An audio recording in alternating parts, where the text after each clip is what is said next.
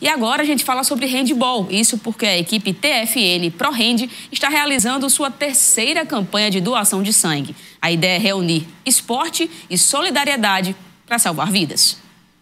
Para quem tem o costume de doar, esse caminho já é mais do que conhecido. Nirlândia vem de uma família de doadores e agora contribui com a terceira campanha de doação de sua equipe de handball, a TFN ProRend. Enorme satisfação, certo?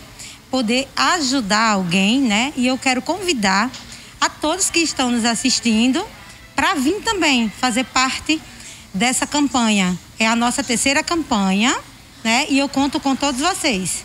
O estoque de sangue do Hemocentro neste momento está baixo, principalmente quanto aos tipos negativos. Campanhas como essa, que unem o papel social do esporte com a solidariedade, são mais do que bem-vindas. Essas campanhas, elas ajudam a fortalecer o banco de sangue, nossos estoques, né?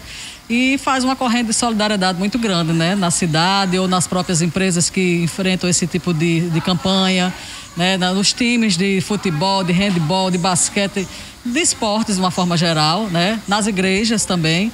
Então, assim, para nós só tem a agregar e a gente fica muito feliz né, com essa iniciativa dessas pessoas. Este não costuma ser o local de atuação esportiva da Arnelândia.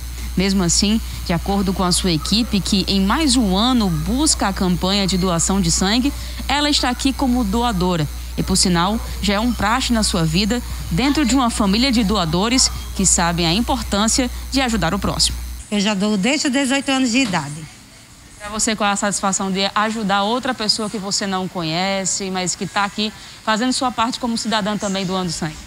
É, é, é de um prazer, sabe? Você saber que você pode ajudar alguém, mesmo até sem você conhecer. É, é, um prazer enorme. Outros atletas do TFN ProRend estão engajando a campanha e ocupando as cadeiras de doação. A atleta Nayara Menezes reforça a importância da causa. E nós, juntamente com a Federação Norte Rio Grandense de Handebol, estamos realizando uma campanha muito linda e muito importante.